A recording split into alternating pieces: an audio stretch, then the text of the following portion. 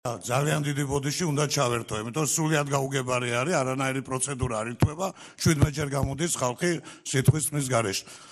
როდესაც შაბათ კვირა იყო პარასკევის შემდეგ ორშაბათამდე და ორშაბათს ამერიკის სახელმწიფო დეპარტამენტი აკეთებს ფხისიერ განცხადებას ამის მერე საუბარი იმაზე რომ ქართული დიპლომატია არ მუშაობს ეს არის ტყუილი თან უნიჭო ტყუილი.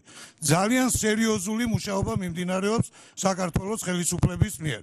ის ბანერი დადგმულია ბატონებო იმ ტერიტორიაზე რომელსაც აკონტროლებს რუსის მხარე აკონტროლებს. სადმე სხვაგან კი არ არის გადმოწეული ის ბანერი. თუ არიცით გაიგეთ. თუ იცით ნუ ტყუით და ვიმუშაოთ სერიოზულად არა ისე რომ თქვენი დანატოვარია. ბოლო-ბოლო ბევრი ნაწილი იმ პრობლემისა რაც გვაქვს. ამიტომ კონსტრუქციულად ვიმუშაოთ და არ გამოვა ესე მაიცა რა? არ გამოვა ესე არ გამოვა ესე რომ თქვენ ახლა რაიმე მორალ პოლიტიკური უპირატესობები ველაპარაკებოდეთ კეთილინებე და ჩვენთან ერთად იმუშავეთ. არ არის როცა ჩვენ სხვადასხვა